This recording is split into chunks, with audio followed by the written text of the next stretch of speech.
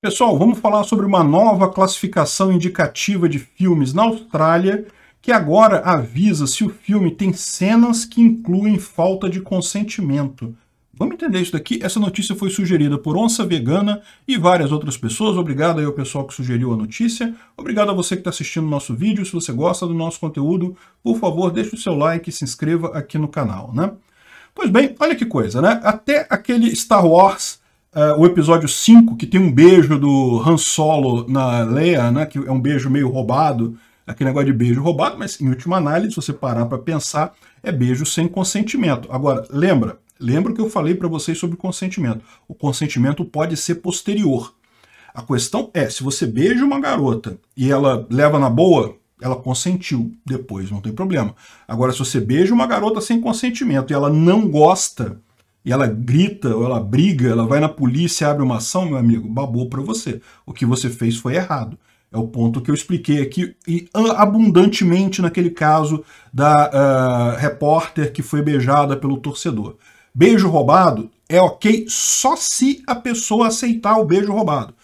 Beijou a menina, ela levou na boa, é direito dela, ela decide, ela pode escolher opção 1, te ferrar completamente, opção 2, aceitar e deixar por isso mesmo você que foi que quis se arriscar nessa história, né? Para você beijar uma pessoa, é preciso que você veja que a pessoa está consentindo com aquilo, que ela está aceitando aquele tipo de coisa. Por que, que não foi a mesma coisa no caso do repórter da Globo que falaram lá? Ah, não, mas teve um caso também que o cara estava ali é, e as meninas beijaram o cara e, e todo mundo rindo e coisa e tal, porque claramente ele consentiu, ele levou na boa, ele não foi na delegacia.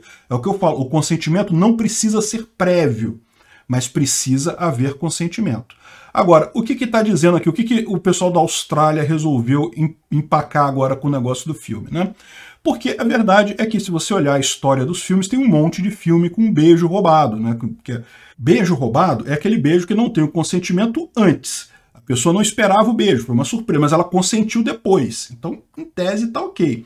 É, existem filmes por aí que tem tanto caso de consentimento desse tipo, é o caso da, da Leia e do Han Solo na Star Wars, para quem não lembra da história. Depois, no final, os dois acabam juntos, aí fica bonitinho, fica fofinho. Agora, se ela não quisesse dar consentimento, era estupro mesmo. Tava usando ela ali como um objeto sexual e coisa e tal, né? Enfim, é, é, o ponto é, a Austrália resolveu fazer uma, uma classificação indicativa para filme que mostra que tem problema de consentimento, ou seja, que não foi consentido, existem cenas ali que não foram consentidas. Qual que é a lógica por trás disso? Né? A lógica por trás disso é tentar resolver o problema na sociedade das, da, do estupro, né? do homem que estupra a mulher, porque é, as pessoas ficam vendo filmes em que as pessoas roubam beijos, e daí ficam achando que podem fazer isso no mundo real. Poder pode, mas lembra, só pode beijar se depois a pessoa consentir. Se ela não consentir depois, está errado. Não houve falha de consentimento aí, né? Então, a expectativa deles é mudar essa visão cultural nossa. E aí tem um monte de filmes que você tem esse problema de consentimento. É lógico, tem filmes muito piores, tem filmes por aí que mostram estupro mesmo, ou seja, situação em que não apenas não tem o consentimento inicial, como não tem o consentimento posterior também. Aí é, a coisa, as pessoas se dividem nessa história. Você acha que vale essa, essa coisa de classificação aí? Pode ser que sim. Veja, não é nada que ofenda também. Não é algo como tipo assim, ah, vou parar de ver filme porque tem um selinho escrito C ali, né? Sobre consentimento e coisa e tal. Parece que o Diabo Veste Prada também tem uma cena dessa, e daí também tem questão de consentimento. Assim, a pessoa não pode consentir se ela está incapacitada por álcool ou drogas. Aí a menina tem mesmo uma cena que ela tá na, na, festa, todo mundo bebendo e coisa e tal, e aí ela fica com o cara e, não, olha só, tem problema de consentimento e coisa e tal. Aí eles estão é, decidiram que vão fazer essa, esse selo, né? Lá na Austrália, esses filmes todos já estão recebendo o selinho do problema de consentimento. Enfim, é, primeiro, não é uma coisa demais também, não está proibindo ninguém de ver filme, pelo menos por enquanto. Mas pode ser que isso mais no futuro acabe desincentivando as pessoas a fazer filmes com esse tipo de cena. Esse é o objetivo, né? Quanto menos isso for retratado nos filmes, imagina-se, a sociedade vai acabar respondendo e coisa e tal, e vai acabar parando de fazer esse tipo de coisa.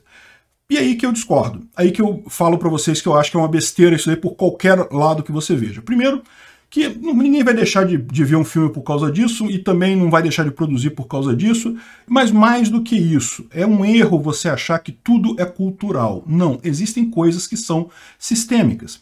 E é, eu, como homem, como homem, eu sei bem disso, o fato é que a tarefa do homem é muito mais árdua no campo do, do amor, da, é, da, do sexo e da, da conquista do que a tarefa da mulher. A mulher, basicamente, ela escolhe quem ela vai aceitar, né? O homem não, o homem tem que correr atrás, o homem tem que correr alguns riscos de vez em quando. Não estou não tô aconselhando ninguém a fazer nada, tá? Mas o fato é que é essa, o fato de que homens muitas vezes são mais ousados ou correm mais riscos nesse campo, decorre justamente do fato de que a, a situação para eles é mais dura mesmo, é mais difícil. Tem que ó, suar a camisa para conseguir alguma coisa, meu amigo. Não é fácil, não. Ah, se você der sorte, nascer bonito, nascer rico, beleza, problema resolvido. Para o resto de nós, cara, é uma dureza só. Enfim, uh, então eu acho que é isso, entendeu? As pessoas acham que ah, não é cultural. Os homens fazem esse tipo de coisa porque veem nos filmes e aí imitam os filmes e fazem isso na vida real. Ou porque veem não sei o que lá e ficam... Não, não é. É porque a coisa é difícil mesmo. O pessoal acaba uh, errando passando do ponto, exagerando na coisa. Né? Não façam isso, é o que eu digo. É muito melhor você se certificar que a menina realmente quer ser beijada antes de beijar ela, de você avançar alguma coisa em qualquer aspecto. Né? Essa coisa da menina que não quer ser beijada, aí você beija e ela gosta no final, isso não, não, não rola assim, cara. Não, não existe isso, não lamento trazer essa informação para você. É, quando a menina quer ser beijada, ela vai dar dicas para você, ela vai deixar claro por outros sinais.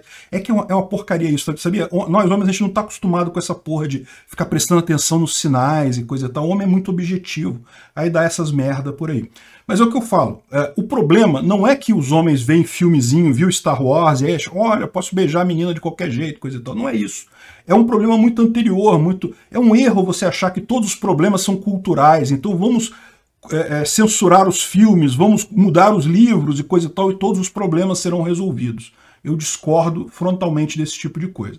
É lógico, continuo dizendo, é errado fazer isso, é errado roubar beijo. Não se pode fazer esse tipo de coisa. Consentimento é essencial, até pela ética libertária. Mas esse negócio em filme aí não vai ajudar em nada, não vai mudar em nada. Obrigado por assistir o vídeo até o final. Além de curtir, compartilhar e se inscrever no canal, considere se tornar patrocinador com valores a partir de R$ 1,99 clique no botão Seja Membro abaixo para saber as condições e vantagens de patrocinar o canal. Mais informações sobre o nosso projeto, visite nossos sites indicados na tela.